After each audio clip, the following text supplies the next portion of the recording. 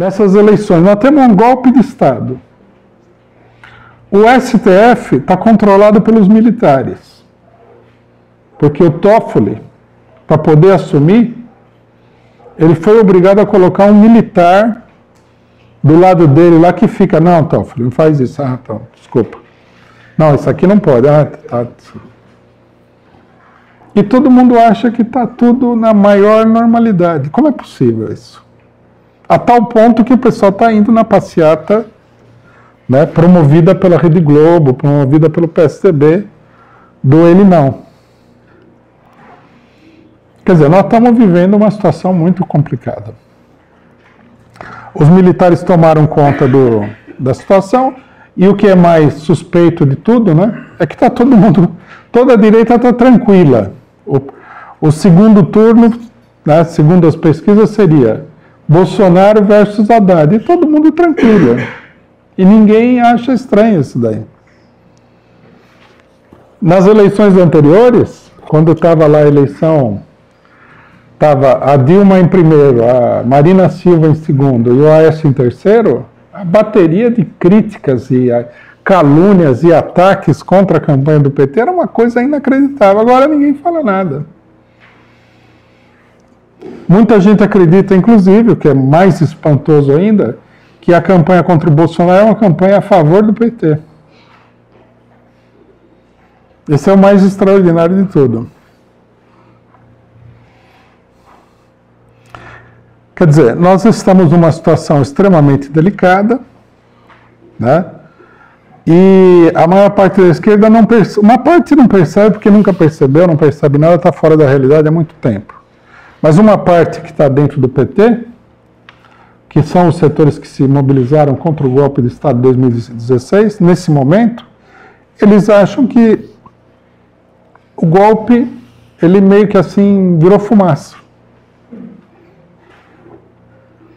Aí você fala, mas os militares estão controlando o STF?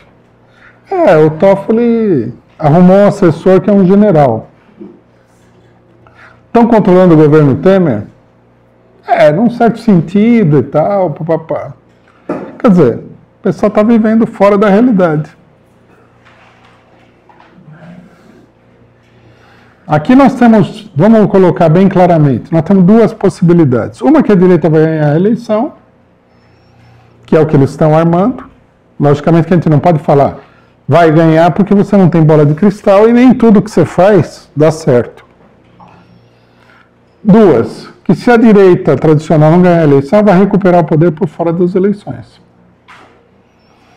Será um golpe militar? Será um impeachment? Será alguma palhaçada qualquer que eles vão inventar? Com certeza.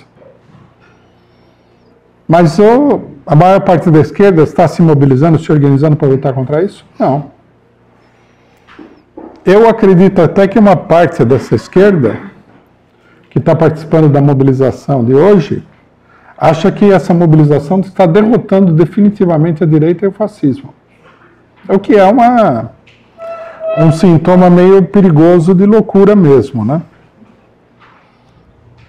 Porque Primeiro, porque a, própria candidatura do Bolsonaro indica que há uma, uma forte propensão no interior da, da classe média, do lumpen proletariado de vários setores, de setores da burguesia, para a extrema-direita.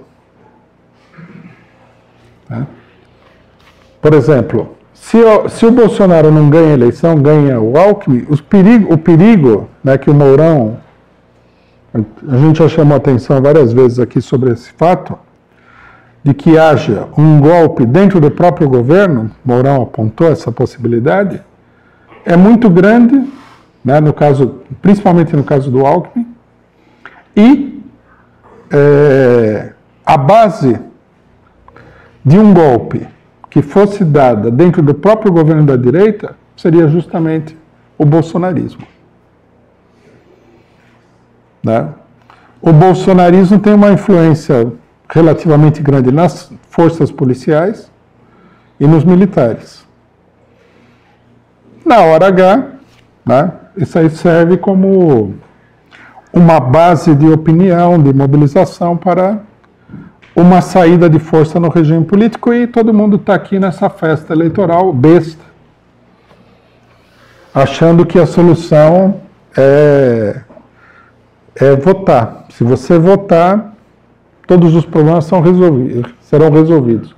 Como que o voto resolve todos esses problemas? Até hoje eu não entendi. Até porque, né, se eu não conhecesse absolutamente nada de política, se eu tivesse nascido quatro anos atrás, já teria visto uma pessoa que teve 54 milhões de votos ser retirada do poder como quem pega uma laranja numa, num galho de árvore.